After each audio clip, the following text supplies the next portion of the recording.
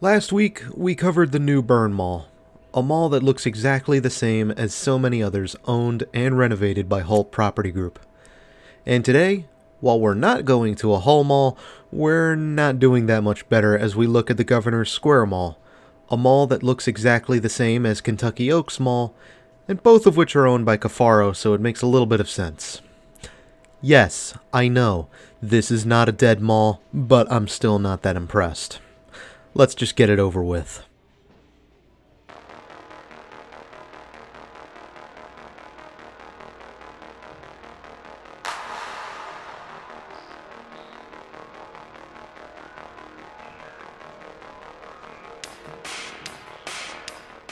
Governor Square Mall was confirmed to be under construction in 1986 and officially opened on October 26 of that year as a 71 store shopping center. Although it was slow to get off the ground, the mall would host a first year celebration event in October 1987, which would feature a ribbon cutting ceremony with a fiber optic ribbon of laser light, an appearance by Fubar D Robot, the zany mechanical marvel, various fashion shows, as well as shopping bag giveaways. The center at the time employed up to 1,500 people, with more on the way as more stores moved in. Among these stores would be the following anchors J.C. Penney, Parks Belk Partnerships, Sears, and Snyder's.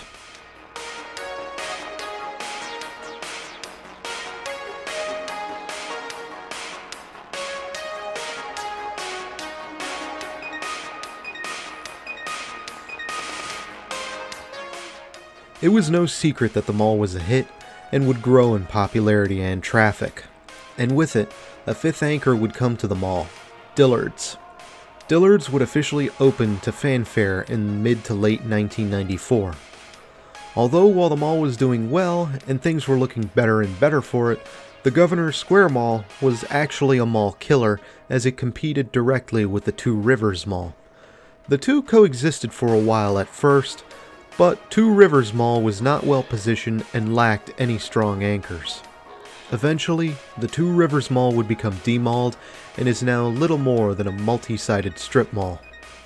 Meanwhile, Governor Square Mall was much better positioned for both local shoppers and regional shoppers, and even siphoned traffic away from Hopkinsville, Kentucky, whom would have traveled to Bowling Green back then.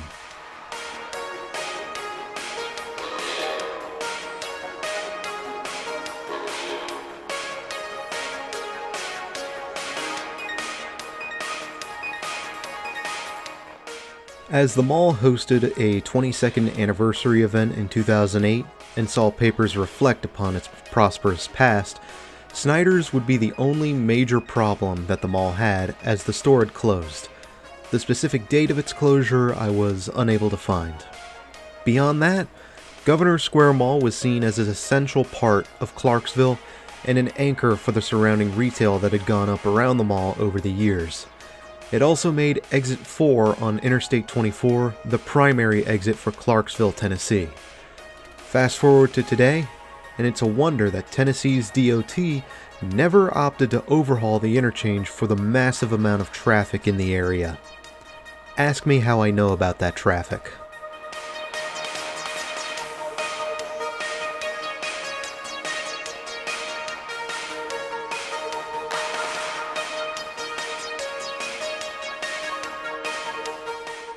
As the 2010s came in, Dick's Sporting Goods would come to fill in the void left behind by Snyder's.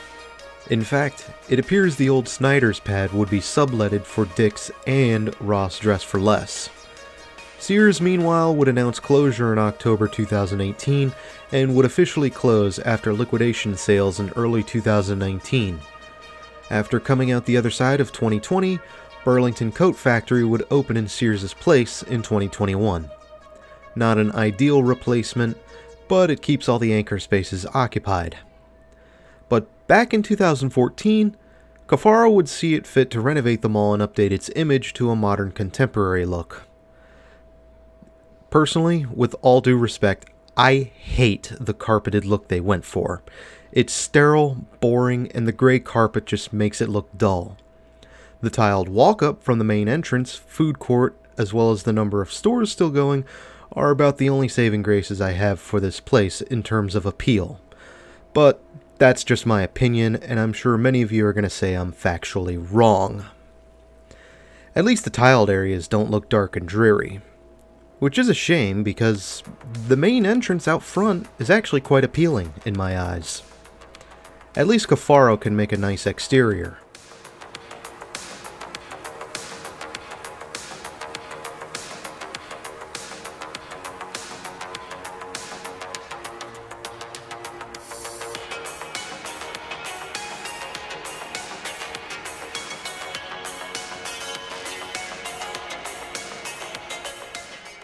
Today, the Governor's Square Mall continues to go strong, maintaining a strong tenant roster as well as a full line of anchors. Dick's Sporting Goods, Burlington Coat Factory, JCPenney, Dillard's, and Belk, which appears to have been relegated to outlet status. Cafaro, the sole owner of the mall from the beginning, does continue to maintain events as well as a mall walker program, so while I have a bone to pick with their chosen architects in the late 2000s and early 10s, I can at least respect them for keeping this mall successful and viable for the Clarksville region.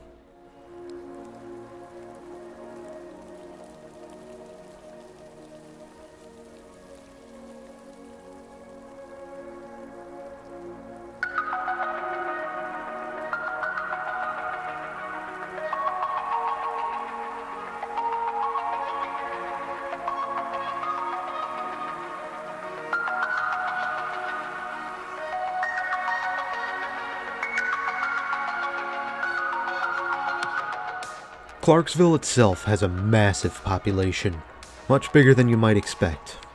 And while growth is slowing down in recent years, it's still in the double digit percentile for growth by decade, as current population figures show 166,000 residents and counting as a rough estimate. And if you don't find a job that interests you in Clarksville, then perhaps you're willing to commute to Fort Campbell or Nashville for work.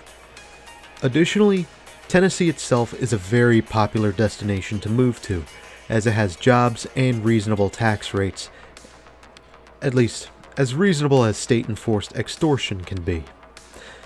But that's for another day.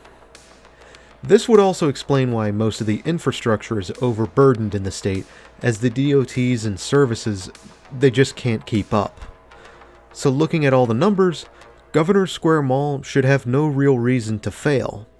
It's the only game in town when it comes to shopping malls, and it has another population center to draw patrons from, and it's far enough away from Nashville to have no real direct competition. In fact, the only real problems with Clarksville is its crime. Now, it's no Detroit, but the numbers aren't great, with violent crime in particular being 48% above the national average. You might want to check those neighborhoods before you move.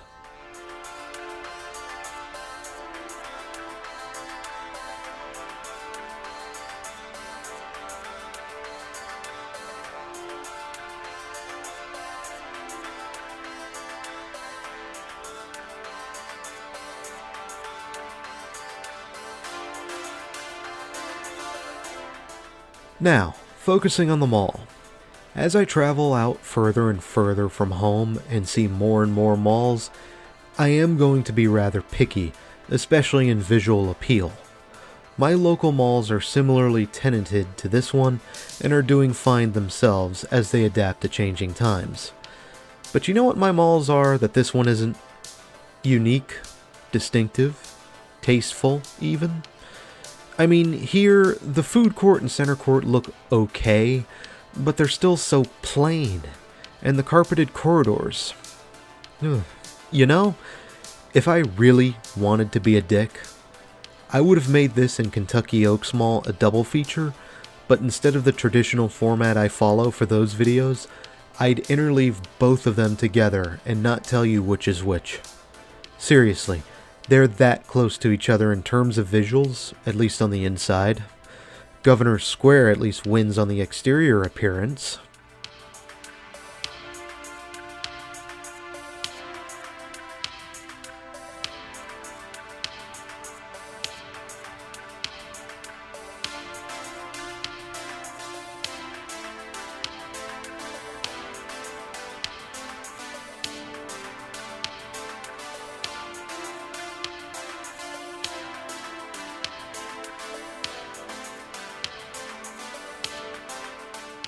Alright.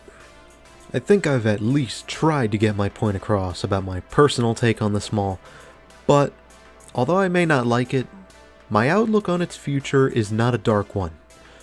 Sure, I strongly dislike the interior aesthetic, but it is doing well, and it appears that it will continue to do well. I would suggest that Cafaro start looking at recreational activities to do for families and maybe even teenagers. Well, provided the teens behave, for the most part, because I will admit that I was surrounded by a bunch of little shits as a teenager. Hell, I was one of them. Now, as we head out, for those of you that are on board and are willing to stick around for more malls, I do have some better ones coming soon. But sometimes you have to take a look at those dark spots in mall enthusiasm. After this, I have a special mall in Alabama for you to look at, and after that, I have a pretty good one in Oklahoma. We're going to be bouncing all over this country before too long. After all, mall enthusiasm scratches that itch to travel.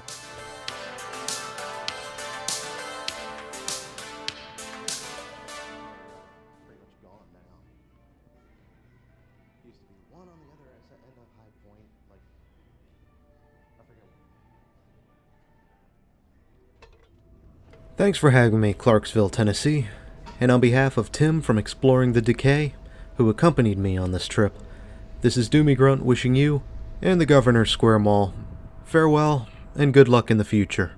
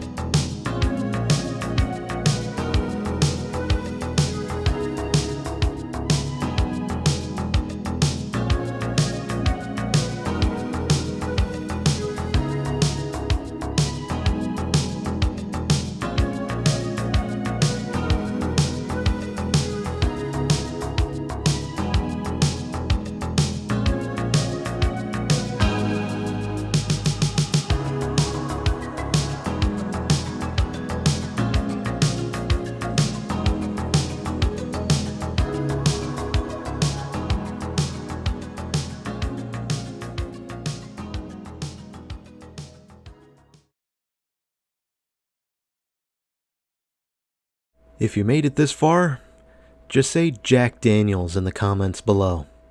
You don't need any context, just say it.